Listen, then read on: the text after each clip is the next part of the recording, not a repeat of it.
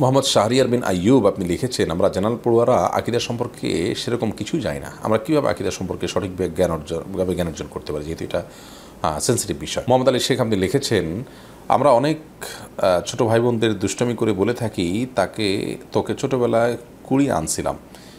এসব বললে কি গুণ হবে? মারুফ হাসান আপনি লিখেছেন গণকমিশন নামে একটি প্রতিষ্ঠান একশো ষোলো জন আলেমের নামে শ্বেত পত্র প্রকাশ করে দুদক এবং জাতীয় মানবাধিকার কমিশনের কাছে হস্তান্তর করেছে। বিষয়টাকে আপনি কীভাবে দেখছেন? মোহাম্মদ শাহরিয়ার বিন আইয়ুব আপনি লিখেছেন, আমরা জেনারেল পড়ুয়ারা আকিদা সম্পর্কে সেরকম কিছুই জানি না। আমরা কীভাবে আকিদা সম্পর্কে সঠিকভাবে জ্ঞান অর্জন ভাবে জ্ঞান অর্জন করতে পারি? যেহেতু এটা সেন্সিটিভ বিষয়। দেখুন, এ বিষয়ে অনেকগুলো বই আলহামদুলিল্লাহ পাওয়া যায় এখন আমাদের দেশে। বিশেষ করে আপনার আবদুল্লাহ লক্ষ্মী রহমাল্লার যথাসম্ভব একটা বই আছে আকিদা সম্পর্কে। তারপর ডক্টর আবদুল্লাহ জাহিনুল ইসলামী আকিদা নামক বইটি আছে। আর অনেক বই বাজারে আছে, এগুলো আপনারা কিনে নিতে পারেন। ইনশাআল্লাহ বিদিল্লা এ থেকে আপনারা উপকৃত হবেন। এবং ইমান আকিদার বিষয়ে আমাদের জানা উচিত, বেসিক বিষয়গুলো জানা না থাকলে আমাদের ইমান নষ্ট হয়ে যেতে পারে নিজেদের অজান্তে। মোহাম্মদ আলী শেখ আপনি লিখেছেন, আমরা অনেক ছোট ভাই বোনদের দুষ্টমি করে বলে থাকি, তাকে, তোকে ছোটবেলায় কুড়ি আনছিলাম। এসব বললে কি গুণ হবে? এটা তো মিথ্যা কথা, আমরা তো কুড়িয়ে আনিনি। আমরা রসিকতা করতে পারি, সেই রসিকতাটা যেন মিথ্যা কথা বলে না হয়। নবী করিম সাল্লাহ সাল্লাম রসিকতা করতেন, কিন্তু রসিকতা করে তিনি কখনো মিথ্যা বলতেন না। একজনকে বলছেন, হে দুই কানওয়ালা। দুই কানওয়ালা বলেছেন, তার তো দুইটা কানই ছিল, মিথ্যা তো বলেননি, কিন্তু এটা তার রসিকতা ছিল।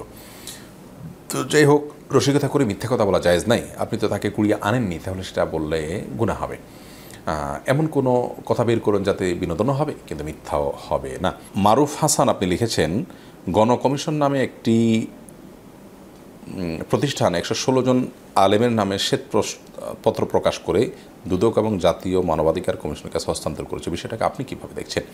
দেখুন, খুবই গুরুত্বপূর্ণ একটি ইস্যু এবং এ বিষয়ে আমরা একটা ফেসবুক স্ট্যাটাসে কিন্তু কিছু কথা বলারও চেষ্টা করেছি, আলহামদুলিল্লাহ। প্রথম কথা হলো যে, ওয়াজ মাহফিলের বক্তাদের যে তালিকা তারা দিয়েছেন, তারা ওয়াজ মাহফিলের যে ইতিবাচক প্রভাব এই সমাজে পড়ে থাকে, এই দীর্ঘ তালিকায় সব ঘরানার আলেমদের মানে বলতে গেলে প্রধান অংশটাকেই ঢুকিয়ে দিয়ে এবং গণহারে সেখানে ওলামা একরামের নাম পেশ করে তারা মূলত ওয়াজ মাহফিলটাকে বিতর্কিত করা এবং ওলামা একরামের ভাবমূর্তিকে নষ্ট করার অপচেষ্টা করেছেন বলে আমাদের ধারণা।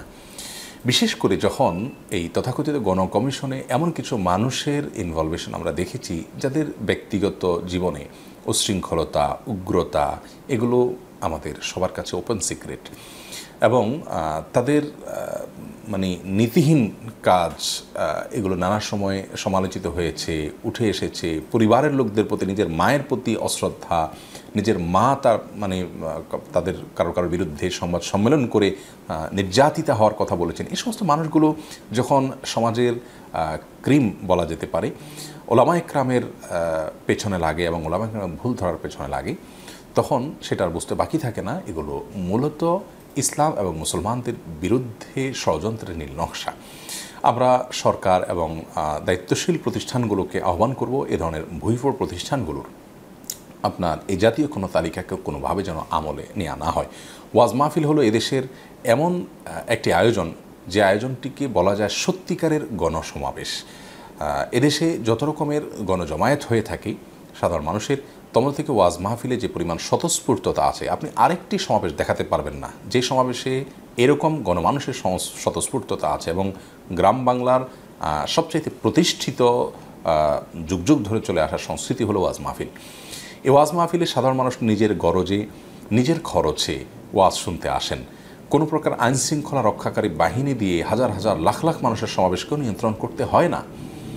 এটি বাংলাদেশের অন্য কোনো সমাবেশের এর কোনো দৃষ্টান্ত বা নজির আমরা দেখতে পাবো না। যার কারণে এই ওয়াজ মাহফিল এখান থেকে যদি উগ্র এবং চরমবন্থার শিক্ষা দেওয়া হতো, ভুলভাল কিছু শিক্ষা দেওয়া হতো, তাহলে এত সুশৃঙ্খলভাবে এগুলো পরিচালিত হতো না। এখান থেকে মানুষ দীক্ষা অর্জন করে, নীতিনৈতিকতা শিখে, মানুষ ব্যক্তিগত জীবনে সেগুলোকে ইমপ্লিমেন্ট করার চেষ্টা করে। যার কারণে আমাদের সমাজে দরিদ্র দারিদ্র বলেন শিক্ষার হার কম বলেন বা নানা কারণে যে পরিমাণ অপরাধ প্রবণতা হওয়ার কথা ছিল তার যতটুকু নিয়ন্ত্রণে আছে, এর জন্য আইন শৃঙ্খলা রক্ষাকারী বাহিনীর পাশাপাশি ওয়াজ মাহফিলগুলো, মেম্বরগুলোর অবদান অনেক বেশি। বিধায় ওলামা ইকরাম নীতিম- রীতিমতো এবং নিয়মিত যে সমস্ত নাসিহাগুলো করে থাকেন ওয়াজ মাহফিলের মাধ্যমে, সেটা জাতির জন্য অনেক বড় নিয়ামক এবং সম্পদ। বিধায় এই ওয়াজ মাহফিলকে বিতর্কিত করার কোনো চেষ্টা কখনোই গ্রহণযোগ্য নয়। এটি আমাদের সমাজে প্রায় দেখা যায় যে ওয়াজ মাহফিলের পরে কিছু মানুষের অ্যালার্জি আছে। হ্যাঁ ওয়াজ মাহফিলে কিছু সমালোচনা করাই যেতে পারে।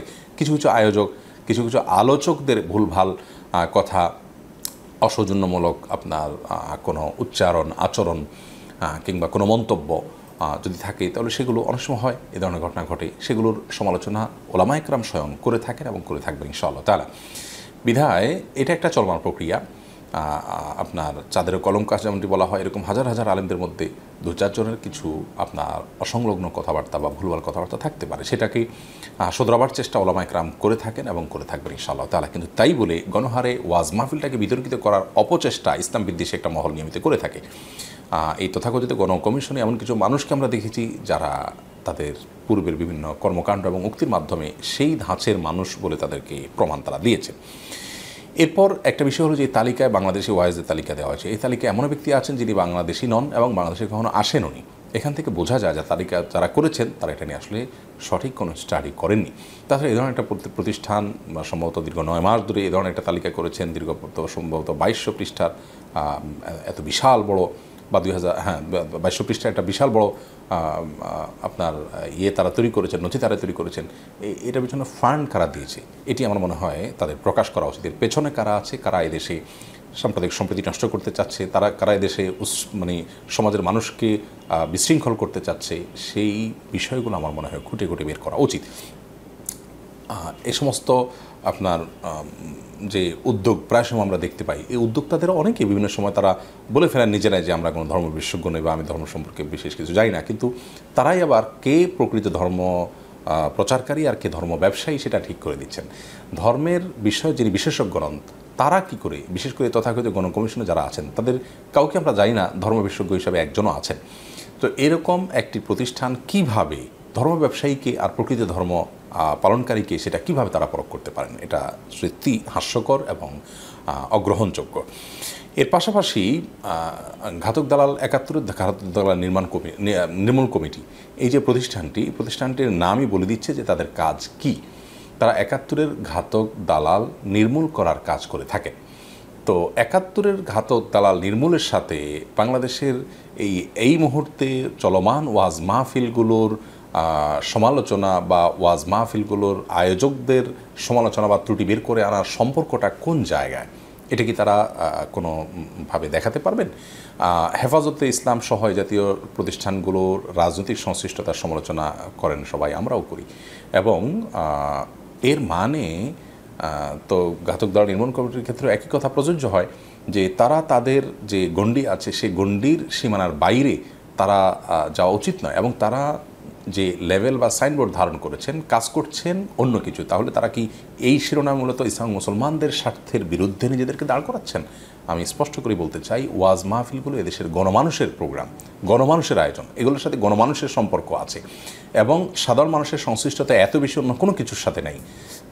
সে ধরনের আয়োজনের বিরুদ্ধে যারা লাগছেন, তারা, আমি বলব যে তথাকথিত গণকমিশন, এরা গণমানুষের বিরুদ্ধে অবস্থান নিয়েছে। বিধায় তাদের এই হীন চক্রান্ত ইনশাআল্লাহ বিদিনা সাথ হবে। হ্যাঁ আমরা আবারও বলছি, কোনো আলেম বা ইসলাম প্রচারকারী কেউ যদি অন্যায় করেন, অবশ্যই বিচার আওতায় আসতে পারে।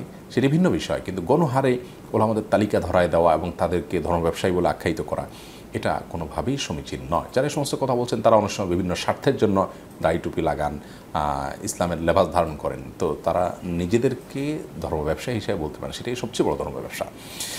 যাই হোক, এর পাশাপাশি এই প্রতিষ্ঠানটিতে অর্থাৎ তথাকথিত গণকমিশনে যারা আছেন, আমি যে কয়েকটা নাম দেখেছি পর্যন্ত, তাদের সবাই বাংলাদেশের যে পরিমাণ মানুষকে নেতৃত্ব দেবে লিড দেয় রিপ্রেজেন্ট করে, আমি মনে করি একশো ষোলো জনের তালিকা, আলেমদের অনেকে আছেন যারা, যাদের একজন যে পরিমাণ মানুষকে নেতৃত্ব দেয় বা যে মানুষকে রিপ্রেজেন্ট করে, তাদের একজনের সমপরিমাণ এরা সময় মিলেও নয়। এ ধরনের ভুইপুর প্রতিষ্ঠানের এই তালিকাকে আমরা নেওয়ার বিশেষ কোনো কারণ থাকতে পারে না বলে আমরা মনে করি। সবচেয়ে বড় কথা হলো তারা তো অনেক কিছুই করল- করলেন আলেমদের তালিকার জন্য, এত চেষ্টা করলেন, এত মেহনত করলেন।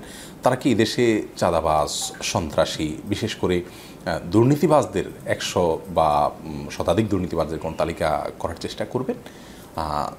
যারা সমাজকে কুরে করে খাচ্ছে, বিভিন্ন অফিস আদালতে বসে বসে, চেয়ারে বসে বসে দেশকে ক্ষতিগ্রস্ত করছে অনেক সময় সরকারকে বিব্রত করছে, জনগণের জানমালের ক্ষতি করছে, জনগণের সম্পদ নষ্ট করছে, আত্মস্রুপ করছে, সে দুর্নীতিবাজদের তালিকা কি তারা করার মানে সাহস দেখাবে?